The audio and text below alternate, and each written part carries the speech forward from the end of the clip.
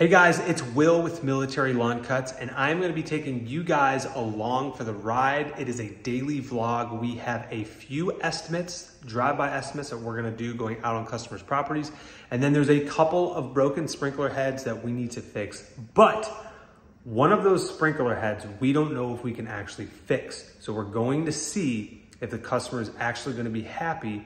We accidentally hit it when we were push spreading a while back and we went back and fixed the head, but he's saying that it still doesn't pop up. So our last resort is to completely take the whole head out and replace it.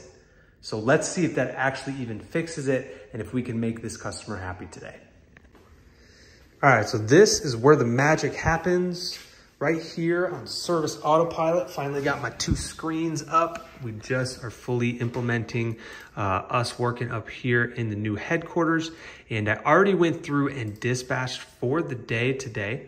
So let's get out rocking and rolling and let's go assist these customers. All right, it is a beautiful day in Texas, everybody. And as you can see, most of the trucks out here are out on the road making that money. So all of our team parks right over here for all of their personal vehicles. And then underneath the big sign is where we put our mulch and everything of that nature.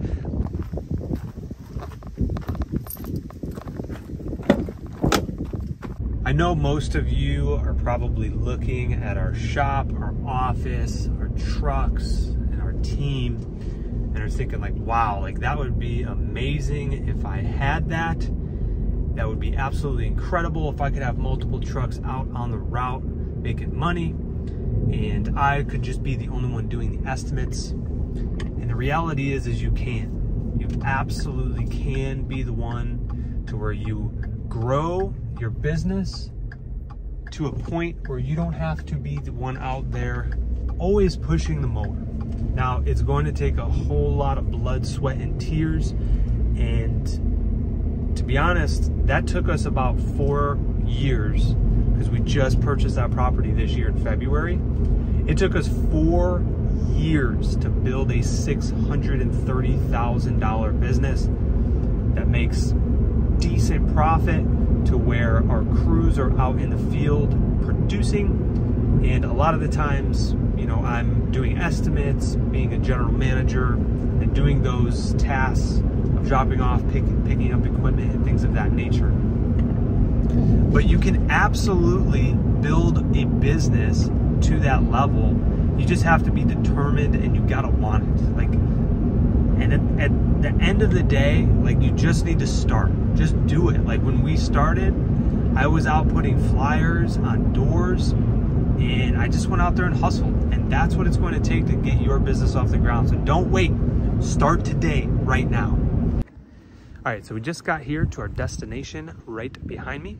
And what you always want to do is make sure you check and verify the address because you want to make sure you're quoting the right property. So what we're going to be doing here is removing all of the grass and weeds in the flower beds. And you always want to check both sides to make sure that you are verifying if there's a flower bed on that side, because sometimes there is. I will send you guys or show you guys here in a minute the exact video that we send to our crews. This is for 1236 Vernon Drive. So what we're gonna do is we're gonna come in here and we are going to remove all of the grass in the flower beds here, all the grass and uh, weeds that's growing in the flower beds here as well. And then we're also going to do this tree ring. And then there is one in the backyard on the back left that also needs to get the grass and weeds removed. And then we're gonna come through and install mulch. So brown mulch in all of these flower beds, this tree ring, and then the back tree ring as well. It's gonna be brown mulch. Now, once the video is taken, what I do on my job notes is I basically will just put a chronological order of what actually needs to get done on the property. So basically just going down, removing grass and weeds, pick up the mulch, installing the mulch, and then I send that over to our office and they're the ones that actually send the quote out. So I literally only spent six minutes on this property right here. Now, when I'm doing that, you want to make sure you're sending the key details. So what I'm doing is I'm putting how many bags of mulch, what color mulch, and how many budget hours on the job. Now, when you're factoring budgeted hours, it's important to know when you're just starting out that you're not gonna be as accurate as somebody who's been doing this for a long time. So an easy way that you can break this down is a quarter day, half day, or full day. That's all you need to know. You don't need to be going down each line, bush item, oh, that bush is gonna take five minutes. That tree is gonna take 14 minutes. You don't need to do all that.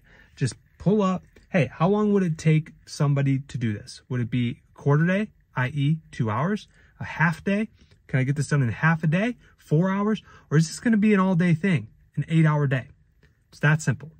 All right, so this is the next one here. It's saying that uh, we gotta remove the grass and weeds in the beds. Probably trim up this crepe myrtle a little bit. Oh, okay, here's what it was talking about. It was saying something about removing some bushes, but it looks like these are what they're talking about here.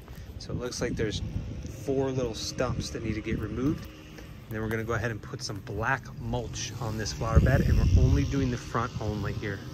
Now what I'll do, especially when we're removing bushes, is I'll come in here and see how easy these things actually come up. Which seems like, I mean, it just rained recently, but these actually would come up pretty easily here. So um, I don't think it's gonna take too, too long. I just got done with that quote. It took me eight minutes. Speed is of the essence. Execution over perfection. That's what we are looking for. If you look behind me, we got quite a bit of the commercial landscapers out there. So for this neighborhood, I believe that they actually cut the front and side yards of these properties. So we, as our company here at Military Lawn Cuts, only have to worry about the backyards. They don't, however, do anything when it comes to landscaping, which is why we were here to do a quote today.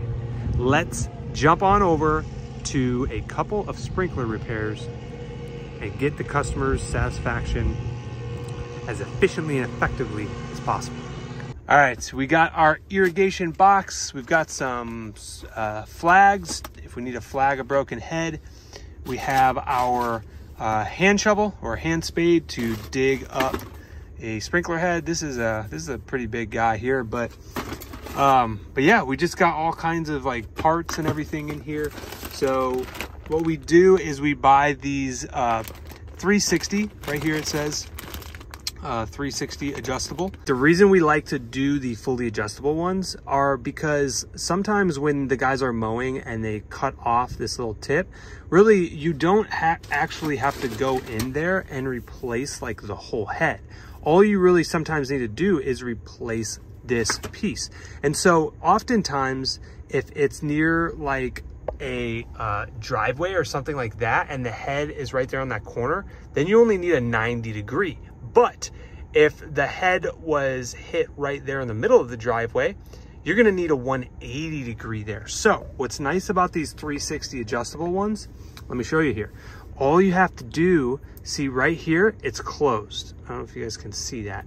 But if I open this up, what that does is that actually, so if I open up all the way, it gives me a full 360.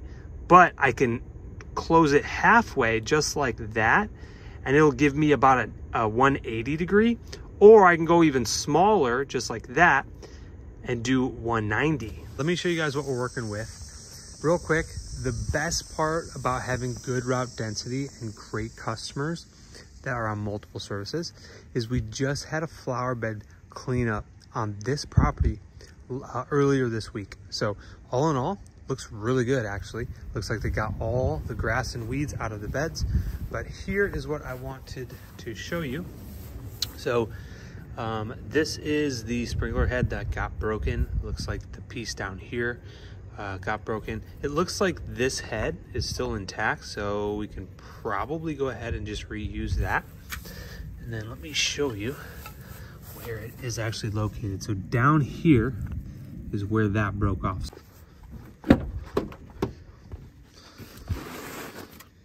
So gonna unscrew this. Yeah, so this head seems like it's gonna be intact. So we went and picked up this piece. What's nice about this is you can actually cut this customizable. So we really need about that much of a riser here. So we can probably use, it looks like this high end and then just cut it there. So I'm gonna have to go get something to cut this. So I just cut that piece off. Can save this for another day. And then we're going to literally just twist that in just like that. Get it nice and tight. All right, now we gotta get that bottom piece out. So to get that bottom piece out, we're gonna use this tool right here. What this does is it clamps. You just stick it down in there and then you twist it. So let me show you. I'm gonna stick this down in there. I'm gonna push it down and I'm just gonna twist. And that will remove what we need to. Take our sprinkler head here and literally just twist this right back down in. Give a little bit of pressure here. All right, now what we're going to recommend to the customer is to get, I'm gonna tighten it down a little bit more, but what we're gonna do is have them uh, get some dirt. So this is, this is exposed for the foundation here. This is not good. More rain and water is just gonna wash this dirt out. So we're gonna definitely highly recommend that they get some dirt here, fill that up, and we're gonna let them know. Sometimes if the customer's not home, you don't have the luxury of them starting the irrigation system and seeing which direction that this sprinkler head is actually facing. But sometimes if you look at this, so this is an old one, but if you look very closely, there is a line right here. So this is a 180. This is the way, that way is the way that it's it's actually going to um, spray because of those lines right there. So if you look at the head, sometimes it'll tell you right there on top. Let's go ring the doorbell. Let them know it's all finished. The customer was absolutely satisfied, guys. We got a good thumbs up and a happy customer at the end of the day, which is obviously the goal to provide excellent quality of service. So thank you so much for coming along on this ride along video today for me, the vlog. If you guys like this type of content, please hit that like button. Let me know in the comments below. Um, I haven't done one of these in a while, so I figured I'd, I'd break it out, you know what I mean? So basically for the end of day rest of routine for myself is I will go back to the office and actually send out these quotes and uh, any type of type of particular email or job note that I had put on our uh, visits today. We'll go ahead and email the customers any communications of that nature. And then obviously end of day routine is to uh, uh, run P4P and send that out for the crews. But our crews will be having a longer day today because uh, we're a little backed up from the rain this week. But guys, I just want to give you encouragement here that if you are wanting to start your own business or even just do this part-time or side hustle, just start literally right now after this video. Stop watching YouTube and get out there print out some flyers, and get going. Action is what moves the needle forward for your business, for my business. Watching this type of content and education and motivation is good, but at the end of the day, you need to put what you're learning into action. So guys, thank you so much for coming along on the ride today, and we will see you guys next time.